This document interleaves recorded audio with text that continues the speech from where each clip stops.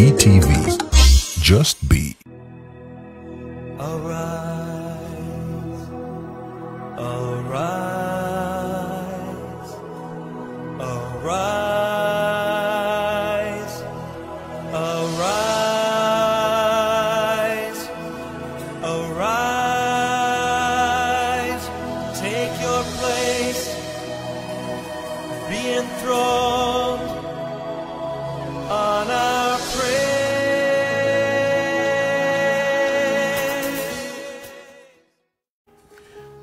To you in Jesus' name. I'm happy to be with you this morning. I pray that uh, this finds you doing well. Jairus Mutebe is my name, and uh, I work with uh, Deliverance Church Uganda as one of the leaders, and uh, also work with an organization called Development Associates International. We've been pursuing this week uh, our faith series, and today we want to look at the five keys of successful living.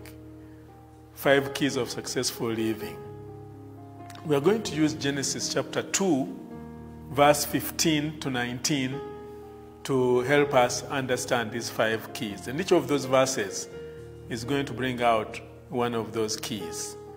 Verse 15 says, The Lord God took the man and put him in the Garden of Eden to work it and take care of it.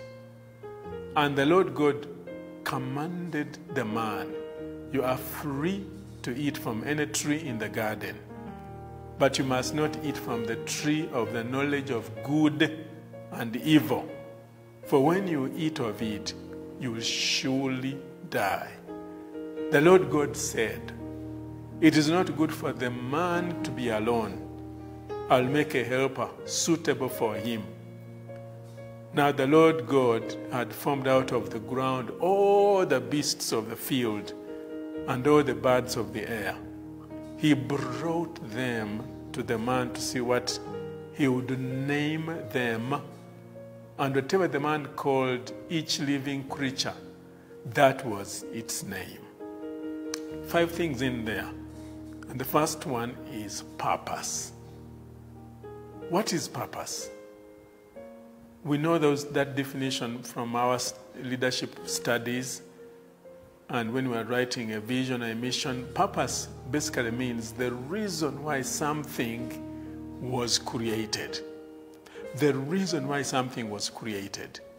God never made anything as a spare. He makes original and it has its purpose.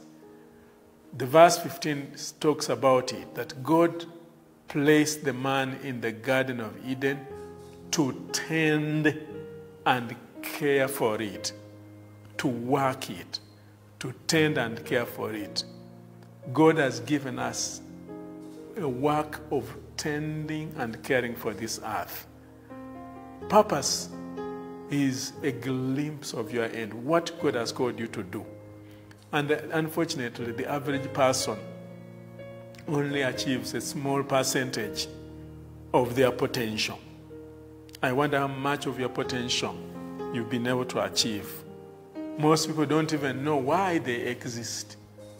Eh, If you find somebody who just spends his time drinking and shouting on the village, you just realize a purposeless person. Somebody who is reckless with, with his life, rides a boat and tries to show off. They are people who do not seem to have a purpose. They are, it is hidden from them. In the Bible, we had people like Joseph. They knew their purpose. And because they knew their purpose, they did not try to mess their lives up. As a teenager, don't think I'm young. I need to grow up, then I begin to behave myself. No, no, no, no. David and Joseph were 17 year olds, very young, when they began to enter into their purposes. Myles Munroe says the greatest tragedy in life is not death, but living life without a purpose. When we live life without a purpose, that's the greatest tragedy in life. It's amazing that almost all people who made important scientific inventions were deeply committed Christians because it's in the Bible that you find your purpose. It is in, the, in being a Christian that you find your significance. And as you read the Bible, you begin to see, according to your calling and purpose, you begin to find answers right in there. Right in there. Most of the inventors who were Christians, you know, were inspired by Scripture. Dr. Steve Organ writes in his book, uh, Can Fly Like Eagles. We can fly like, you can fly like the eagles. He traces some of the men in there who lived on purpose and uh, discovered very, very interesting things. One of them is Copernicus. We read about this person in our schools. Copernicus was an, uh, a Polish astronomer and discovered that the earth revolves around the sun in a circular orbit and rotates on its axis. It goes around the sun like this, but it's rotating also around its axis.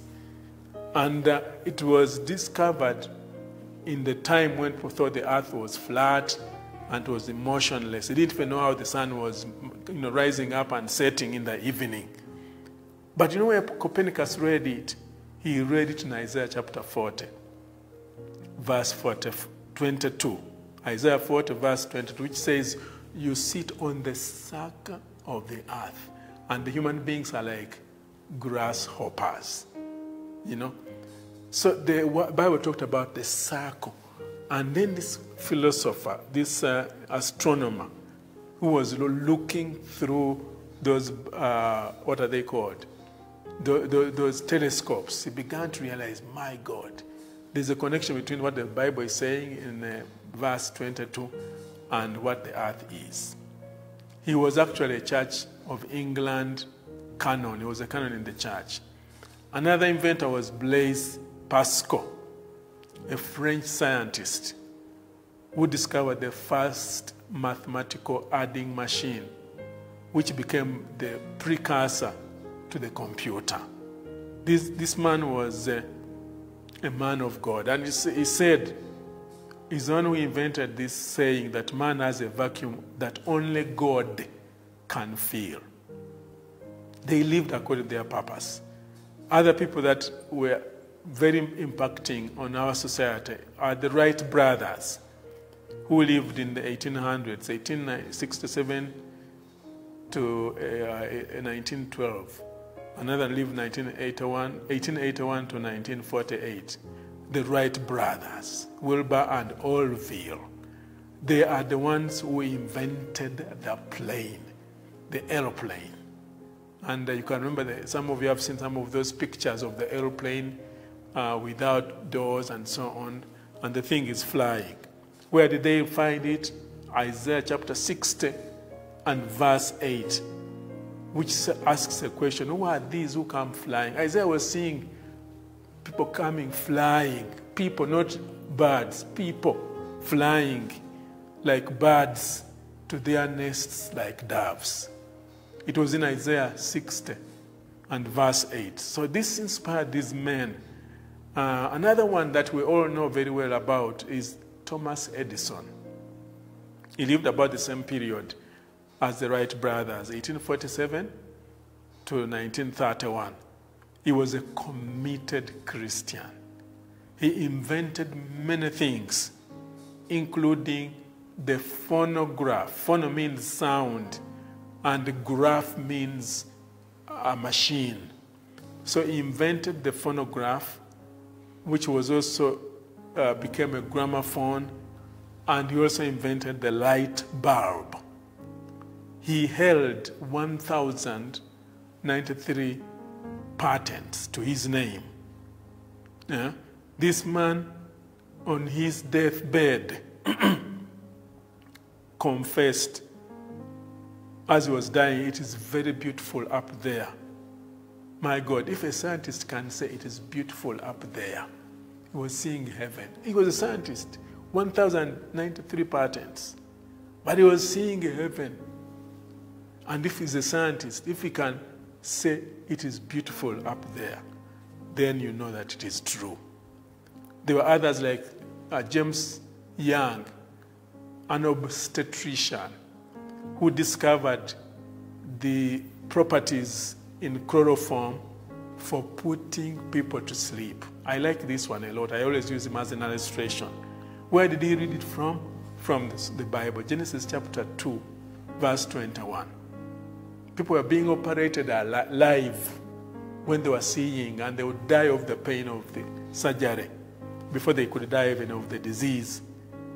So this man was wondering how do we stop pain? How do we put people so they don't feel the pain?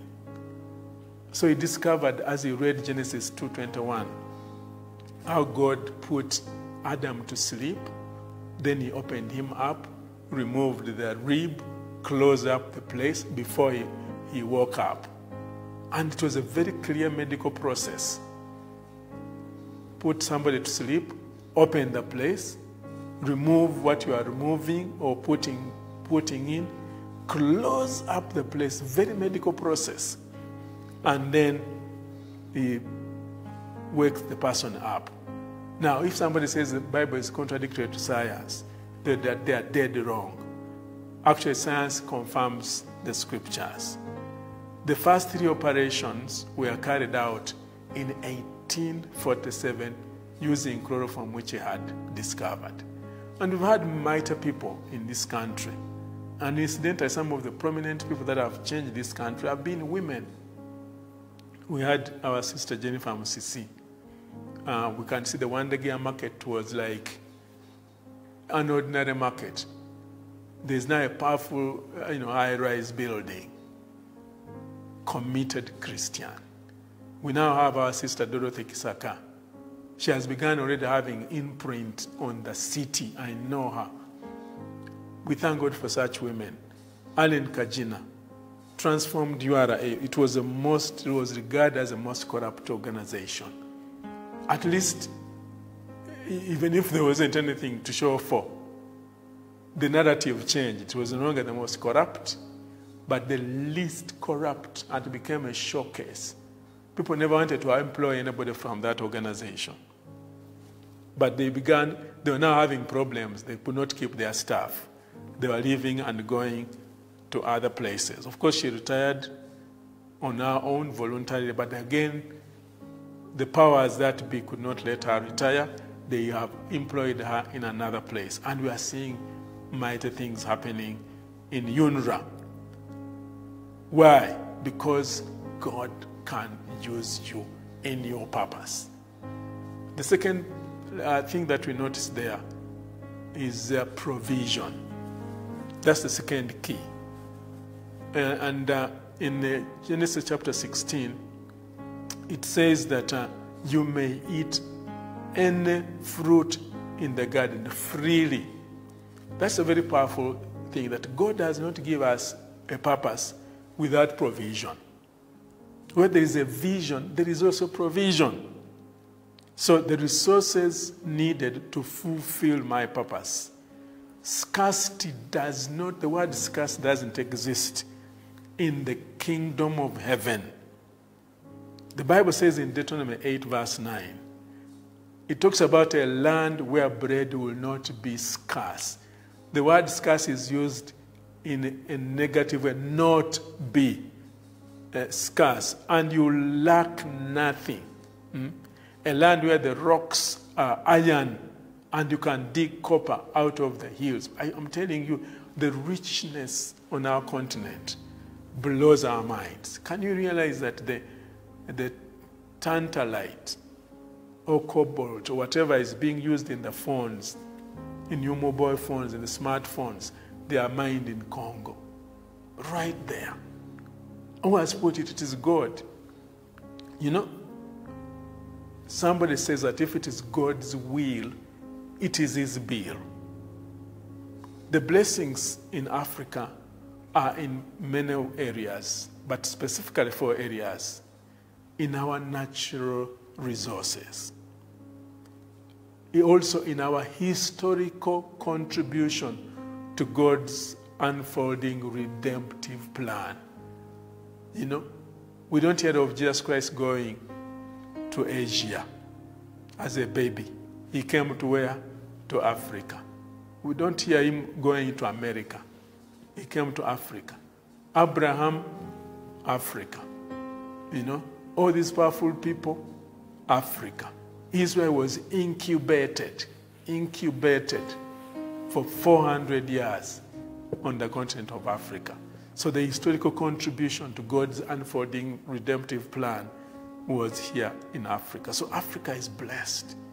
The richness of our people, the variety of our culture, the richness of it.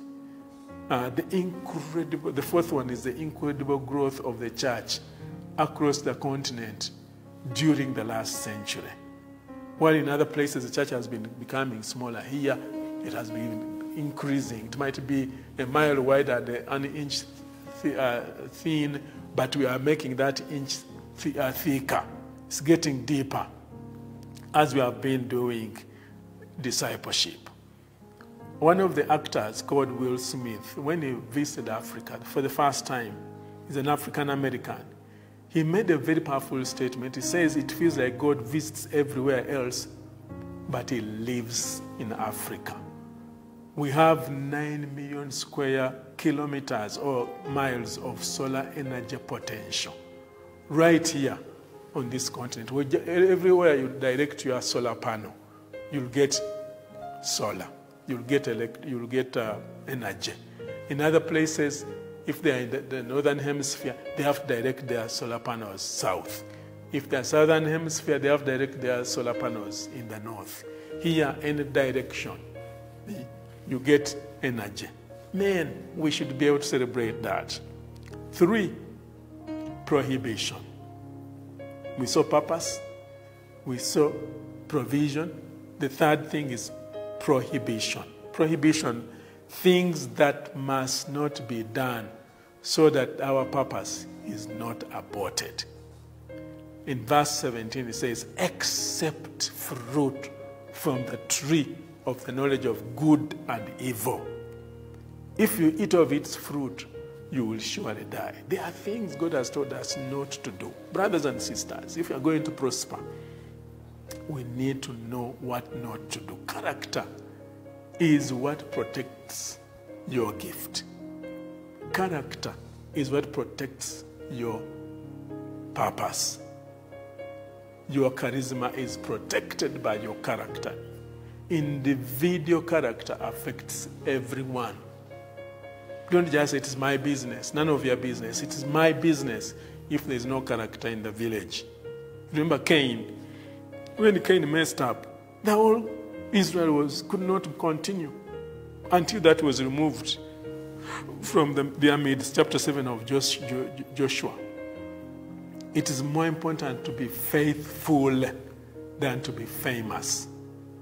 History has men and women who mess themselves up and affected, not only themselves, but also their people. Napoleon Bonaparte, or Bonaparte, a great French emperor, was very, very powerful. He was invincible. Why? Because he was faithful to his wife, Josephine.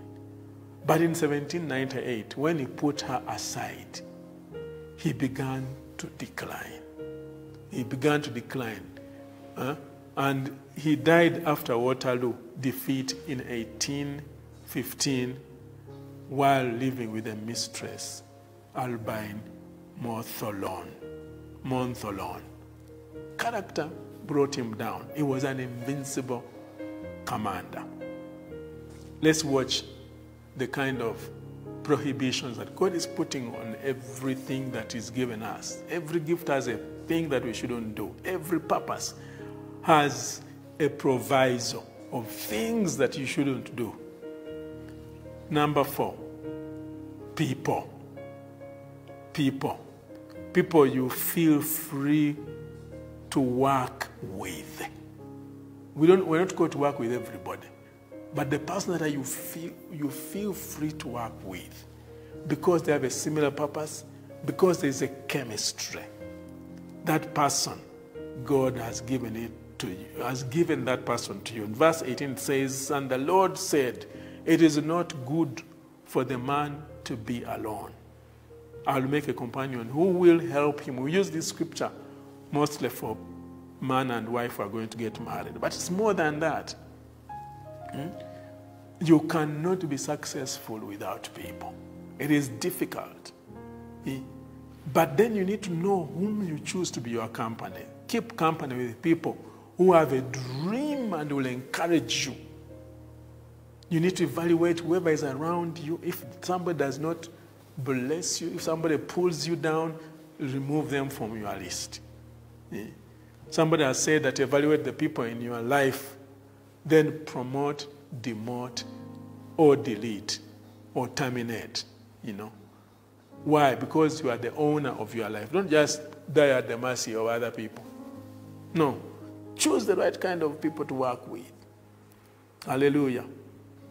Number five, participation. Participation. Number one was purpose. Number two was provision. Number three was prohibition. Number uh, four was people. And number five is participation. What kind of participation are we talking about here? Uh, verse 19 says, So the Lord God formed from the soil every kind of animal and bird. He brought them to Adam to see what he would call them. I like the next phrase. And Adam chose a name for each one. Whatever name he gave them, that was its name. Whatever name you, you call them. He, Adam, uh, he, he, he came to Adam, he brought them to Adam to see what he would call them. He, and that's a very, very powerful thing. He called a dog a dog, and it, was a, it became a dog. And, uh, you know, it behaved like a dog. Whatever name he gave them, it controlled their behavior. So, whatever name we have chosen for a circumstance, that becomes its name. So, what does participation mean? The need for involvement of man and, and, and God. God and man. God did his part, he created from the soil, and then he gave the man to determine what that thing should be. So you can choose to determine that uh, all oh, this God has given me in Uganda, there is only misery. Mm. So with, with our mouth, with our tongue, we form, we create. The Bible says the tongue has power to give life and death. Uh, Proverbs 18, either 21 or 22.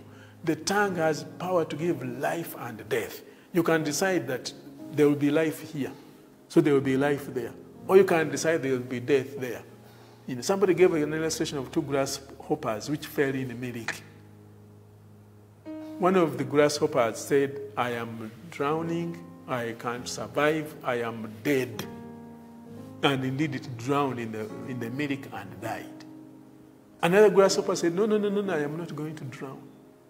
So it flapped its wings a thousand um, you know, times per second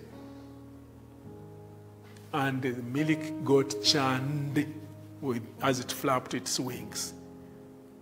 And when it got churned, it became solid, and the grasshopper left. So you determine the circumstances by what you are saying and what you do. Words create, they also do what? They also destroy. So, what is my participation with God?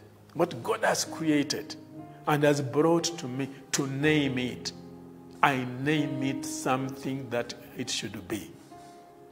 Proverbs chapter 6, verse 2 says, If you have been trapped by what you said, ensnared by the words of your mouth. Sometimes we trap ourselves by what we are saying.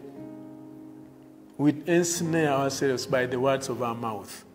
That's Proverbs 6, verse 2. May God help us that we don't trap ourselves by the things we are saying. In the Matthew 12, verse 36 to 37, it says, Let me tell you something. Every one of these careless words is going to come back to haunt you. There will be a time of reckoning. Words are powerful, take them seriously. Words can be your salvation, or words can also be your damnation. Very, very important. Every one of the words that we are carelessly speaking, they will come to be uh, uh, our damnation. They will come back to haunt us. Let us use good words. You know, there are moments I've spoken certain things and I regret that I spoke them out. But, you know, as Basoga say, owemuka echibaya otawemwike chiwono. You would rather be, they would rather see your naked body than see your naked heart. A heart is very dangerous. Dr. Myles also says that it is easier to cast out devils than to see a person transformed in their mindset. If your mindset is already spoiled, it will take a long, long time for it to be transformed. That's why we need discipleship. Discipleship helps us to be transformed, to be altered, to alter our worldview. Uh, somebody says that when there's a problem in Africa, we just compose songs to explain it. Other countries where their mindsets are different, they are struggling to find a solution. They're trying to find a cure. Thank God that that is changing now, that we can find solutions by our own selves. So, participation is the key thing. Let's pray. If you're not saved and you want God to change you so that you live a purposeful life, you live a life of where you are provided for. You know what not to do. You know the people to work with, and you know how to participate. And you want to give your life to Christ. Just say this prayer after me Lord Jesus, I thank you that you died for me. I thank you that you love me. And you came specifically for me. I ask you to forgive me all my sins. I surrender my life to you. In Jesus' name, I pray. Amen. Let me pray for you. Father, thank you for those men and women who have listened to me and have also given their lives to you for the first time, or they have renewed their lives. Lord, may you minister to them, O oh God. May receive them. Delete their name from the book of life, death and destruction, and write their names in the book of life. Thank you, Jesus. Pray for all the others that have listened, and Lord, they need to make a move in establishing themselves in their purposes and partnerships and people.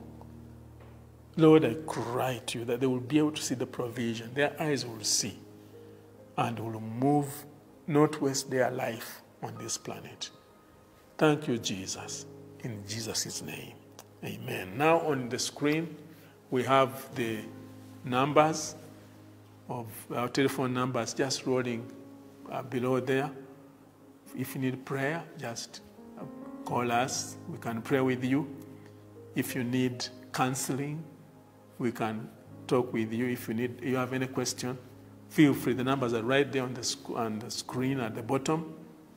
Just talk to us. God bless you very much. Thank you for listening to me. In Jesus' name, amen.